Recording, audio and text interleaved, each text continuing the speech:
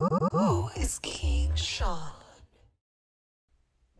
YouTube, what's up? It's Who is King Shawn, and we're back again with another banger. Today, I got a quick video for y'all. I'm gonna let you know, I'm gonna show you actually three business lines of credit that you could get today with no documentations. But before I get into that, please bear with me. Let me tell you the information before we move on. Please, I need y'all to know all this information, right?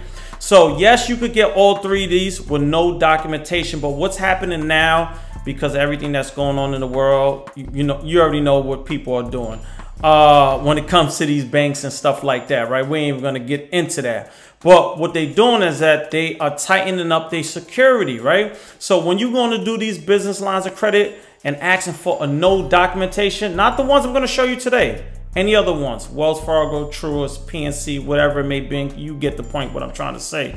And you're trying to get these business line of credit because you built a great relationship with them for a couple months, right? So now you want that business line of credit. When you're going in and you're filling out these applications, right?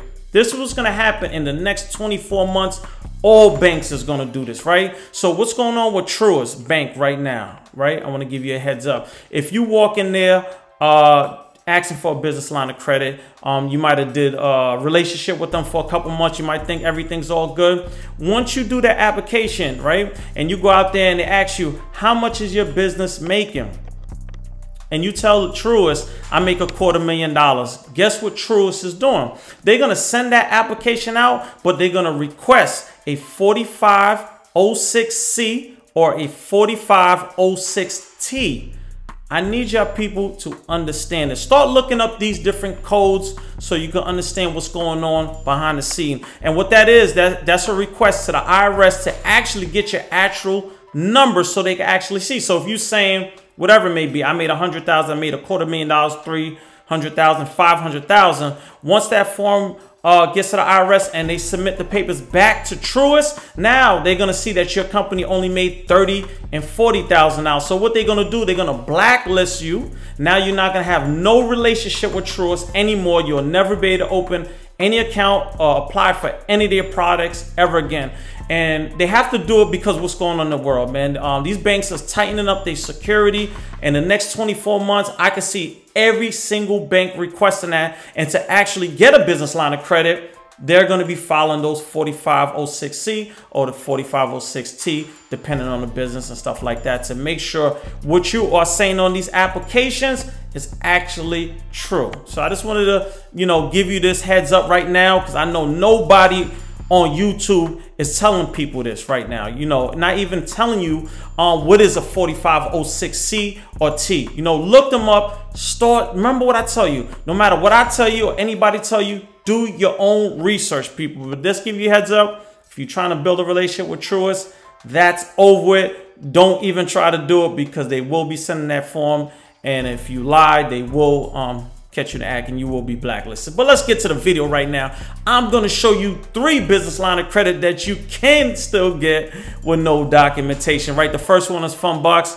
Um, I think I applied probably about four and a half years uh, with Fundbox. Initially, uh, they gave me about 10 grand. I think my business at the time probably was making like 30 or $40,000 and um, they gave me ten thousand dollars. So they're real good. They're gonna ask you to connect uh, your business checking account with Plaid. They want to see what's going in. They want to see what's going out, and they'll determine how much you want. Right. So you see right here, you could get up to one hundred fifty thousand. So let's go right there. I want to show you something.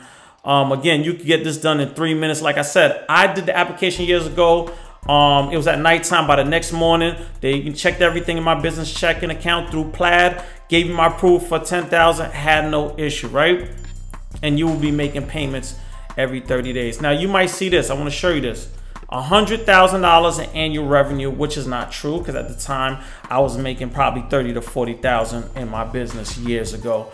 Um, and they still gave me 10,000. So um, everything else is accurate. You know I mean? 600 uh, personal score. And again, you might be saying, will they be doing a hard inquiry? Now, this is the trick with Fundbox, all right? They're going to do let's say today you get approved for whatever $50,000 business line of credit 40 30 20 whatever it may be 100 whatever it may be right you get approved for it once you actually withdraw, because once I got this business line of credit, I actually didn't use it for about four months because I had other business lines of credit I was using. I had tons of business credit cards.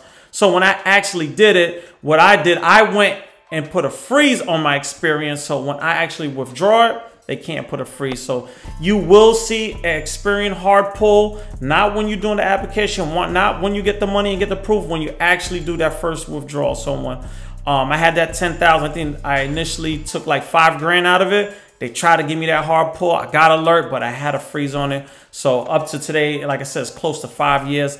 I still never got a um, a hard inquiry. But this is simple. Application is pretty simple. And then again, no matter what I say, anybody say, always go through Trustpilot. And they got about four and a half stars. You know, um, again, you get this with no documentation. You could go right in, as long as you got the, you know, the basic couple trade lines, uh, re reporting on your business side you know, some tier ones or whatever, you know, whatever it may be, you know, some Grainger, Uline, whatever it may be, it doesn't even matter. They're to approve you, you know. So, number two, let's go to number two. Number two is American Express. And the good thing with American Express, if you have any of their personal credit cards, business credit cards, it doesn't matter, right?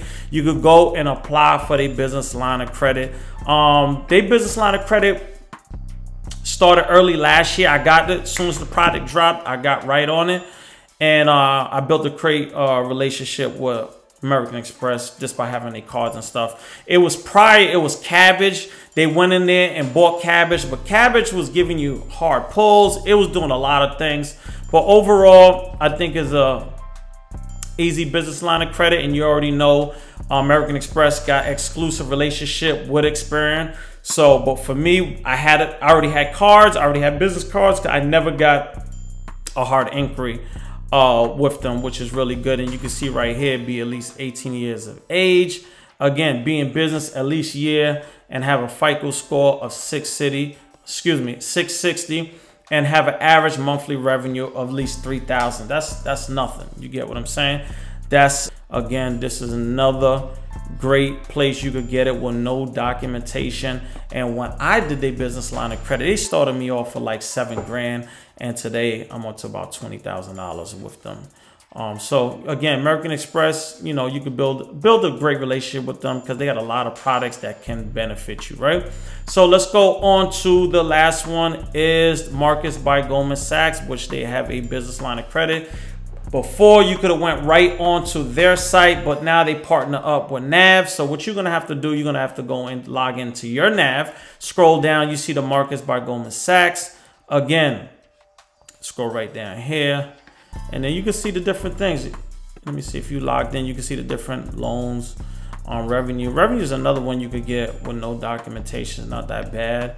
Um, but to do the business line of credit with GM, again, um, you want to have at least a 660 credit score and they're exclusively through Experian too. Got another great relationship with Experian. So when you actually get approved and everything, it will go through Experian, but initially it will be a soft pull, so you don't have to worry about that. And again, it won't be charged until you start withdrawing. Only go through NAV to do this business line of credit. I want to give you a heads up. Again, you know, I come, I give you the information raw and uncut. Um, again, these are three companies that you could get a business line of credit with no documentation. Now, I have Fundbox and, and uh, American Express. I do not have the GM, but I have worked with people I mentored and helped them get uh, the business line of credit with them. My last client I had, they got about 22.5 on their business line of credit, which was really good. It's pretty simple and easy. So again, get in the comments. Tell me what you think. If you have any kind of past relationship with any of these companies, get in the comments. Tell me what you think. I'm here to win. Again, I got videos coming. I want to see y'all win in 2024. I do not want to hear no excuse. Stop being lazy and let's do the work. Like, comment, subscribe. But for now, I'm up out of here. Peace.